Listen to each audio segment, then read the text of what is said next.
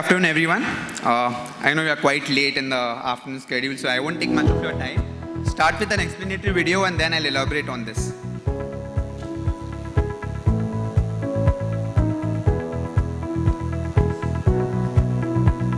As an educationist, when I started looking into all the problems that we face, uh, you know, whether it's administrative issues uh, or whether it's capacity expansion, growth issues, uh, going to a bank today as a trust and asking them to, uh, you know, give us a loan, it is a very painful process.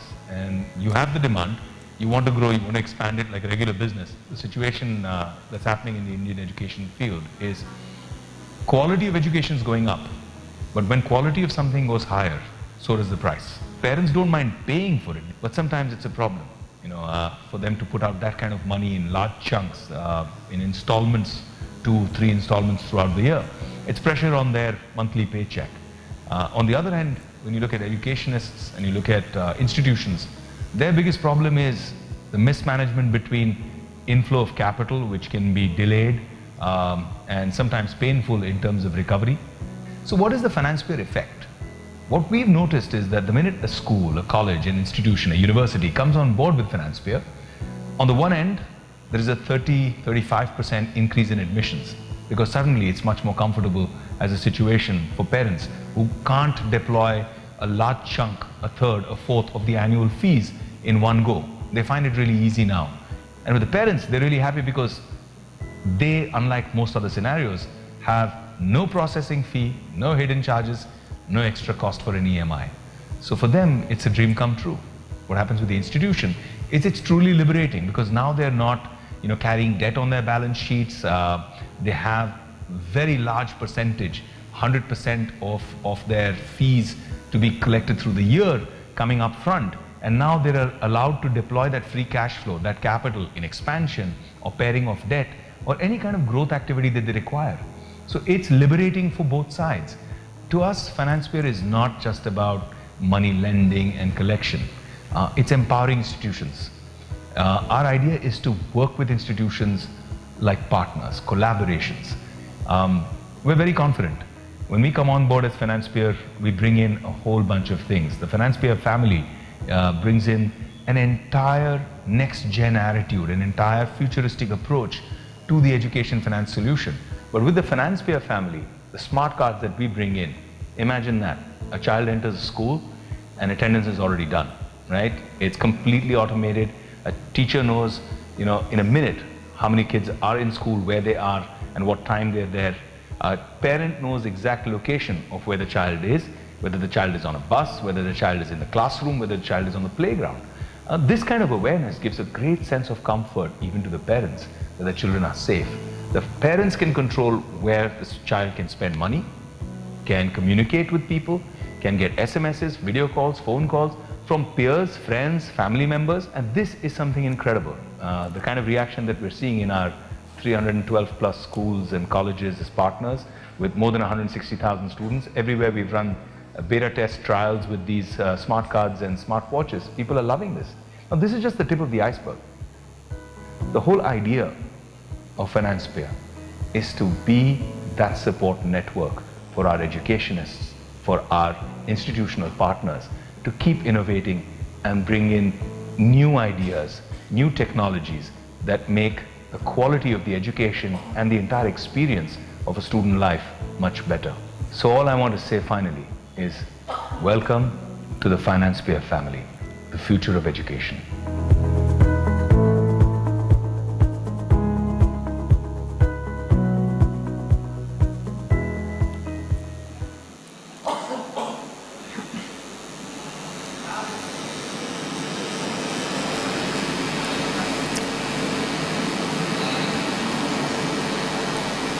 Yeah, so I'll just like to elaborate on what uh, Vivek just said.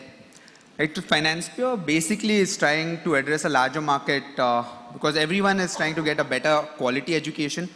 So every educator is trying to increase the quality of education through various mediums. Uh, either add infrastructure facilities. There's a lot of pairing done with the edtech firms, which we heard right now, bringing in new technologies into the systems. But all, bringing all of this uh, incurs cost, right? Now, who is going to bear this cost? if you go back to the parents and tell them they have to pay upfront, you might uh, lose on admissions because of the increase in cost. So what we have seen is, although the poorest of the poor parents uh, demand for better quality education, the parents are also demanding for flexible payment options which in an Indian legal system is uh, very difficult because the schooling system in India basically on uh, legal terms cannot recover funds from a parent, right? So even if a parent makes a partial payment, they cannot recover the full amount from them. So that's why a schooling institution typically prefers to get the entire fees as one shot in one installment. On the contrary, they offer a maximum of three to four installment option to a parent. So where Financepeer, what they're trying to do here is trying to reduce this fee collection hassle.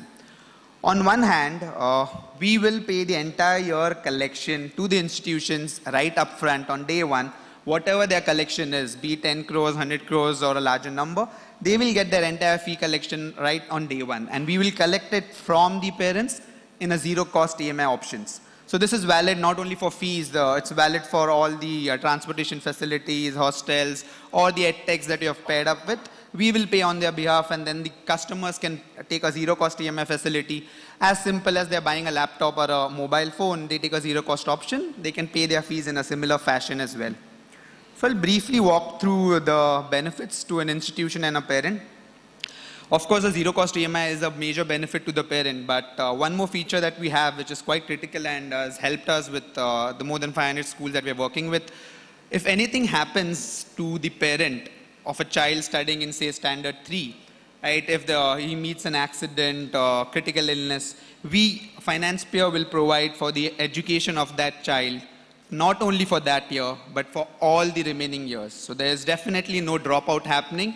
We will provide for the education for all the years. So this is one of the key features that we have come up with and we are doing it across the country today, trying to provide for education uh, even for the poorest of the kids so that they can also avail the quality education that you all are providing. On the other hand, for the schools, yes, you collect your fees, 100% fees upfront. Another important aspect is there's no liability. There's no security that the school has to provide. So if the parents are not going to pay us back, we will not come back to the school. That's our loss, right? Whatever happens is completely our loss. What we have seen when we launched this product, especially a lot of boarding schools that we have worked with, we have seen an average of 27% increase.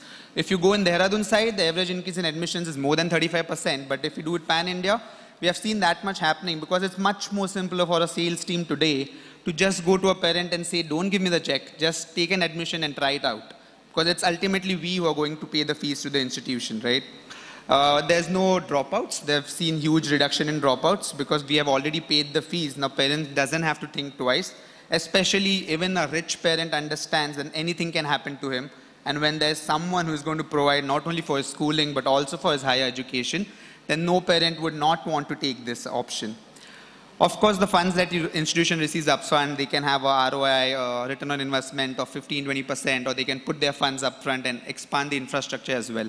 So these are some of the key facilities that we have come up with, uh, and Vivek was also trying to explain.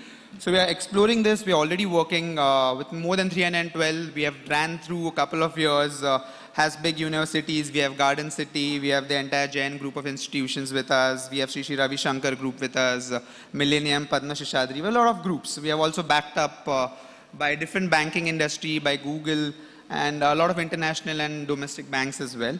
So trying to reach out to a larger community, and we thought uh, participating in such an event uh, would help us reach out to them uh, it's, it's, I think it's a win-win scenario for each uh, institution here. So we are open to exploring what help can we provide so that you can also adopt and uh, partner with all these tech firms that you want to and provide those education because that, that's the facility that we can come and uh, provide it to you all. So we want, would happily welcome all of you all to Financepeer Family as well and grow together. Uh, to be a part, uh, you can either reach out to us on the email given there or on the number mentioned. We have a small stall outside where officials will also explain the product to you. So if we need to understand how this operates and how we can work this on a much, much larger scale uh, in India and abroad, then please uh, meet our officials outside.